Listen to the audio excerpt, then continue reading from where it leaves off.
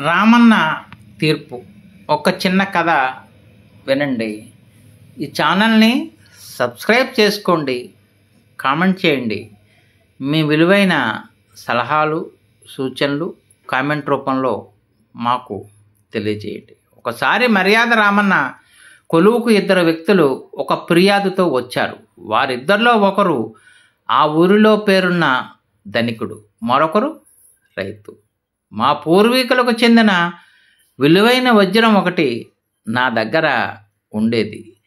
ఇతను వ్యాపార నిమిత్తం పొరుగుదేశం వెళ్తూ నకల కోసం నా వజ్రాన్ని అడిగి తీసుకుని వెళ్ళాడు. తిరిగి వచ్చాక వజ్రం కోసం వెడితే ఇవ్వడం లేదు అని రైతు ఫిర్యాదు చేశాడు. ఈ ఛానల్ని సబ్స్క్రైబ్ చేసుకోండి కామెంట్ చేయండి. షేర్ చేయండి. మీ విలువైన సలహాలు సూచనలు ఇవ్వండి. నీ సమాధానం ఏమిటని రెండో వ్యక్తి వైపు చూశాడు మర్యాద రామన్న.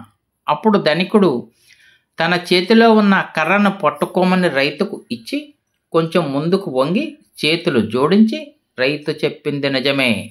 అతని దగ్గరున్న వజ్రం లాంటిది కొనడానికి పొరుగు దేశంలో ఉన్న వ్యాపారులకు చూపించడానికి తీసుకువెళ్ళింది వాస్తవమే. అయితే నేను ఇంటికి చేరుకున్న మరుక్షణమే అతన్ని పిలిపించి ఆ వజ్రాన్ని తిరిగి ఇచ్చేశాను.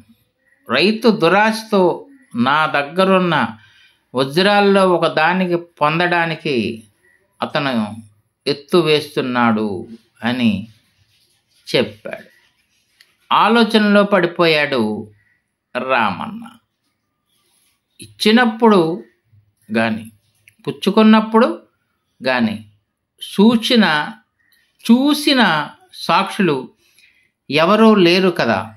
వ్యవహారం అంతా కేవలం ఇద్దరి మధ్య నడిచింది కదా. చూడండి మీ లావాదేవీల్లో దేవుడే సాక్షి. మీకు ఇంకొక అవకాశం ఇస్తున్నాను. దేవుడి మీద ప్రమాణం చేసి నిజం చెప్పండి అని ఆదేశించాడు రామన్న.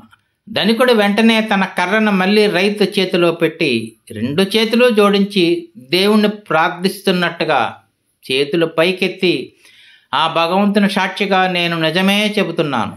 రైతును ఉక్కు రైతుకు నేను ఈ వజ్రాన్ని తిరిగి ఇచ్చేశాను అని ప్రమాణం చేశాడు.